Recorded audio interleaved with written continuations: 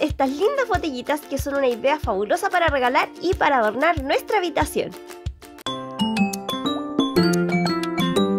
Hola a todos, sean muy muy muy muy bienvenidos a un nuevo videito. Hoy es viernes de DIY y les voy a enseñar el día de hoy cómo hacer frasquitos así como este, que son súper lindos para regalar, para entregar de recuerdito de alguna fiesta en especial, para adornar nuestra habitación, etcétera. Así que antes de mostrarles las diferentes formas en que podemos hacer estos frasquitos, los invito a que se suscriban al canal y sean parte de esta familia que va creciendo. Y lo único que tienen que hacer es clicar en el botoncito de suscripción que está por acá abajito y no olvidar clicar la campanita para que YouTube les notifique cuando yo suba un nuevo video que son todos los miércoles y viernes. Ahora sí, vamos con el tutorial. Utilizaremos de este tipo de frasquitos o botellas, son súper económicas, yo las compré en una tienda china y me costaron 200 pesos que en dólar equivalen a 0,30 de dólar.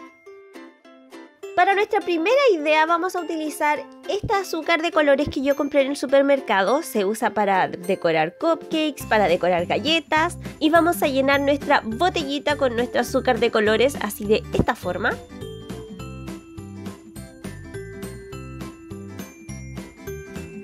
Le vamos a poner la tapita y vamos a cortar un trozo de hoja o cartón vamos a tomar la relación del tamaño con nuestra botellita y vamos a cortar una etiqueta. Le cortamos las esquinas y vamos a escribir azúcar de unicornio. Le haremos unas rayitas alrededor para adornar nuestra etiqueta y con un alfiler le haremos un hoyito y ahora tomaremos un trocito de cuerda, de hilo, de lana, de lo que tengan en casa y vamos a ponérsela a nuestra etiqueta con la ayuda del alfiler, así como lo estoy haciendo yo.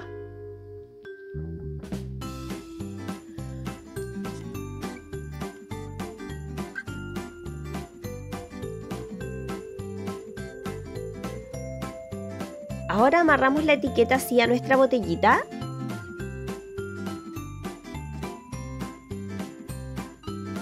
y le hacemos un nudito bien bonito.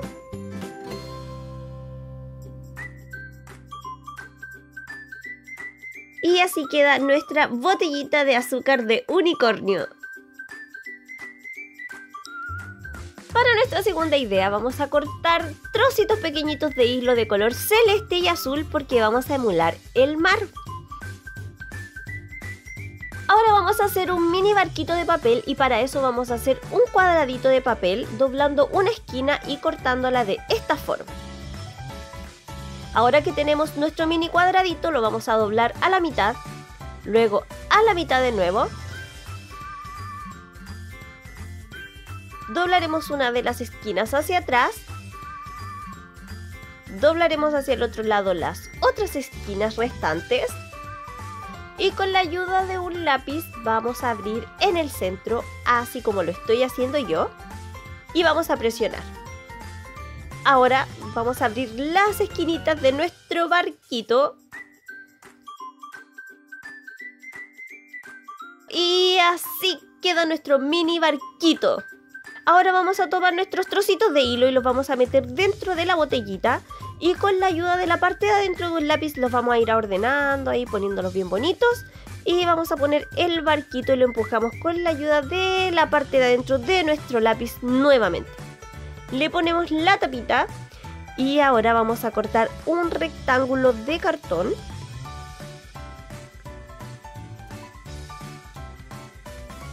Vamos a doblar una pestañita como de 5 milímetros aproximadamente.